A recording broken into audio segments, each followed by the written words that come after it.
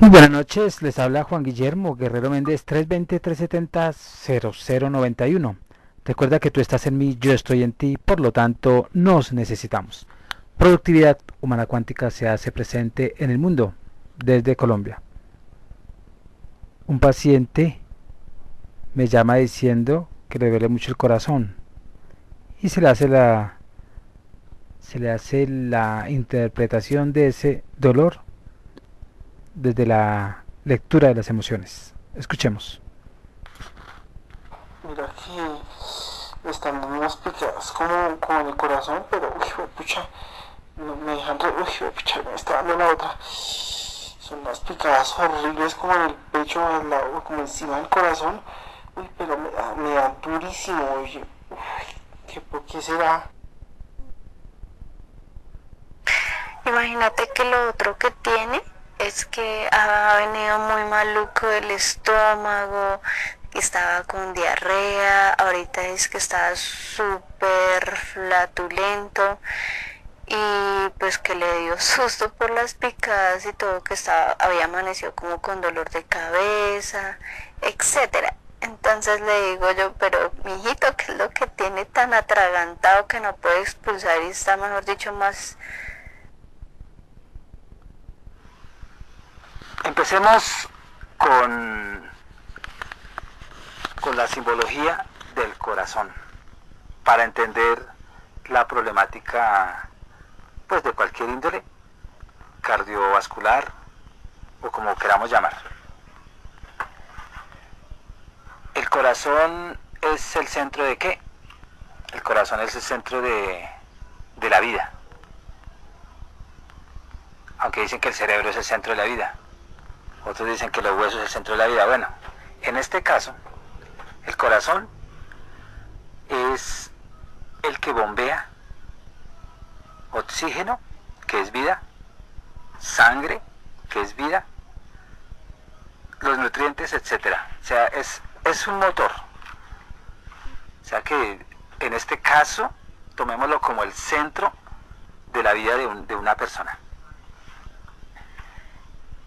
como está en la parte izquierda, entonces si este señor es zurdo, entonces es una parte racional que está sufriendo. Lo más pos- posible es que no sea zurdo, entonces es derecho, es diestro. Y ahí es donde, eh, por ser izquierdo, entonces es, es emocional el inconveniente que ha vivido por mucho tiempo. Eso no es de un día para otro es progresivo y ahorita el corazón ya grita, porque ya no se aguanta más esa emoción o ese maltrato hacia sí mismo. Así tengan otros la culpa, es uno el culpable. Entonces, eh, si hay respiración o poca respiración, eh, eso tiene que ver mucho con miedos porque cuando uno tiene un pavor, pues el corazón acelera la respiración, pues para que uno huya, o para que emprenda con energía una corrida tremenda. Entonces, si hay una respiración, eh, si hay fatiga más bien, si hay fatiga, entonces el corazón en últimas quiere que huya de esa situación. Si no hay fatiga, entonces hay picadas, posiblemente. El corazón en toda la poesía es el símbolo del amor. Y cuando uno tiene amor, pues ¿cómo anda uno? Pues englobado, hipnotizado, lleno de alegría y esa alegría pues el corazón la bombea por todo el cuerpo. Entonces, ¿qué estoy diciendo en este momento? Que está padeci- padeciendo posiblemente tristezas emocionales, no racionales, emocionales. Y él, ¿qué hace cuando uno eh, se priva del amor? O se priva de la alegría, o se priva de lo que sana, o se priva de lo que sirve. Em, pues hay un enfriamiento. ¿Qué se enfría? Pues la energía del, cuerpo que genera el corazón. Porque el corazón, si nosotros nos damos cuenta, el corazón crea un electromagnetismo en todo el cuerpo. O sea, crea un cuerpo electromagnético. Pero como está bajo, bombeando poco, no tiene oxigenación porque no hay alegría, no, no quiere vivir, mejor dicho. No tiene amor porque está tan frío, se siente tan rechazado, pero es en últimas uno el que se rechaza. O sea que tiene una estima muy bajo. Entonces el corazón empieza a bombear lentamente porque quiere morir, quiere enfriarse, quiere irse, pero no el corazón. Es el dueño del corazón. Él dice, no, no, no, eso es pura paja. Pero es que el inconsciente es el que habla. Entonces ahorita hay poca circulación. Cuando hay poca circulación, hay poca energía. Cuando hay poca energía, pues no hay salud.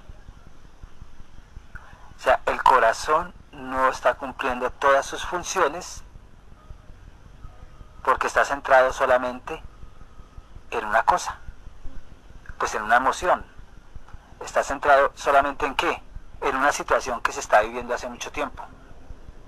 Se siente tan rechazado que solo está centrado en pensar en su rechazo, pensar en su no sentido de la vida, pensar en su constante tristeza. Entonces ahí hay un drama emocional. Y en últimas, eh, el centro de un buen funcionamiento del corazón es el amor. Estamos hablando simbólicamente porque el inconsciente actúa desde símbolos. Cuando uno no se quiere, cuando uno está vuelto miércoles, cuando uno eh, quiere que lo quieran, pero, pero juzga porque el otro no lo quiere, o la otra o la misma, pues está esperando desde los demás, pero no se da cuenta que ese conflicto de desvalorización viene desde el centro que es él. Y quizá sea conflictos también con la, con la momia o con el esposo o con la familia. Y él se siente tan rechazado, o ella, tan apartado de la misma familia, aunque uno cuando ama tanto el trabajo, la familia se convierte, el trabajo es la familia. Cuando uno ama tanto una, un bien, para el inconsciente la familia es el bien. Al inconsciente no le importa si la familia es la de sangre, la novia, el amigo, el hermano, el hijo, el papá, no. Para el inconsciente la familia es lo que yo más amo. Entonces, hay una posibilidad que se esté sintiendo que se está perdiendo el territorio por esa misma desvalorización. Pero para él no es que yo me desvalorice como dueño del cuerpo que está sufriendo. No, para él es que me rechazan. Y, él dice, pero yo no tengo fuerzas y me siento rechazado, me siento eh, no ajeno a donde me encuentro o con quienes me encuentro. Y estoy perdiendo mi, territorio. Puede ser eh, el trabajo, puede ser plata, puede ser negocios, porque el inconsciente cuando habla de territorio o cuando habla de familia es donde más se siente uno a gusto. Si yo soy un conductor de bus y me siento re bien manejando 24 horas en, en mi carro, pues para mí el carro sería la familia. Entonces, este conflicto tiene que ver mucho con una emoción hacia algo que le afecta tanto, que él quiere tanto, que se siente separado y que lo separaron. Y me siento tan desvalorizado que yo digo estoy perdiendo territorio, me están echando. voy a quedar solo. Muchos cuando, cuando están perdiendo la casa se están separando, ellos dicen, bueno, ahorita me separo, pierdo la casa y ahora dónde me voy a vivir. Mis hijos se van a ir eh, cuando es ejemplo de familia, ¿no? Cuando es familia directa. Me siento, eh, dicho, empieza uno a, a juzgarse y se siente totalmente abandonado, desvalorizado, solo, eh, etcétera. También se puede dar cuando la gente hace deporte. Es que en todos los ejemplos se puede dar. Yo soy un deportista de fútbol y, y dejé de jugar y yo empiezo a maquinar y ahora qué será mi vida. Ya no puedo vivir porque no es que mi deporte era la vida. El deporte era el que me daba para vivir, etcétera, me daba para comer. Entonces para el inconsciente pues la familia es el deporte. Entonces ahí es donde uno dice estoy perdiendo territorio, estoy perdiendo mi, mi esencia y uno empieza a desvalorizarse y a señalarse y claro el corazón se resiente porque el inconsciente dice yo no soy nada yo no tengo nada.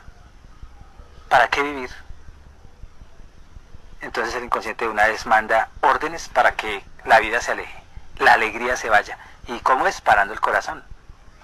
No es que se le va a parar el corazón, pero él o ella, los que están viviendo esas, esas cosas, esos problemas cardíacos, tienen que reevaluar su vida volverse alegres, recuperar la alegría, ser independientes de todo, eso sí lo defenderé siempre, no ser apegado ni a una dama, ni a la mamá, ni al papá, ni a nadie, porque eso afecta la alegría, afecta el bombeo de la alegría del corazón, afecta el, el espacio electromagnético. Recordemos que nosotros somos energía y que entre más energía tengamos, más vivos estamos porque somos como una batería o como un container de energía y cuando la energía se acaba, pues se pierde la fuerza. Otra cosa, em, está, eh, o sea, estas personas em, tienen un miedo constante por seguir sufriendo, o, o más bien, por seguir enfrentando lo que están viviendo porque como se desvalorizan tanto, pues tienen miedo de, seguir soportando eso porque eso es horrible. Pero se sienten tan abandonaditos porque se centraron solamente en que ese es el mundo de ellos, la pareja, el trabajo o el dinero o lo que tengan en mente. Para ellos ese es el, ese es el mundo. Y si se les va ese mundo, pues se les va la vida. Entonces ese conflicto emocional eh, eh, puede ser el, causante, puede ser no, es el causante de lo que se está viviendo ahorita con esas picadas. El corazón ahí lo que está diciendo es, es eh, siga, siga, siga sintiéndose así, verá. O sea, es como señalándolo a uno. El corazón le dice, concéntrese más en eso y se joderá. Y siga creyéndose en que no se quiere o en que nadie lo quiere o en que me voy a comer gusanitos o no soy el macho alfa y otro, otro sí llegó y me quitó a mi mujer. O soy el peor trabajador y me van a echar. O por hecho lo que quiera pero si uno sigue pensando eso el corazón se va resintiendo más y va comunicando más hasta que al último ya dice jódase entonces, em, bueno, eso para, para las partes que son personas sensibles, que andan en las nubes pensando en que me quede solo, sola, en que este mundo es tener un macho alfa o tener una hembra alfa o beta, y que yo qué hago si no tengo una familia. Esta parte es la parte romántica que, que, que evalúo porque en esa, en esa parte romántica, ideal, pues uno pierde el sentido de la vida, eh, uno se siente solo, así esté lleno de gente, se siente vuelto nada y dice, pues yo no soy nada. Y uno se olvida. Y cuando uno se olvida, por estar centrado en el, en el afuera, por estar centrado en el, en el exterior, pues automáticamente el mismo corazón dice, acuérdate que yo estoy acá, que yo existo. Entonces, si quieres que todo esto se vaya, vuelve a vivir. Pero no pensando en que hay que vivir por el otro, sino hay, hay que vivir es por mí. O hay que vivir por el dinero. O hay que vivir por el mundo material. No, es vivir por mí. Ya lo demás es puro eh, relleno. Que tenga uno 10 mujeres o que tenga mil pesos o que tenga mucha plata, eso ya es por efecto.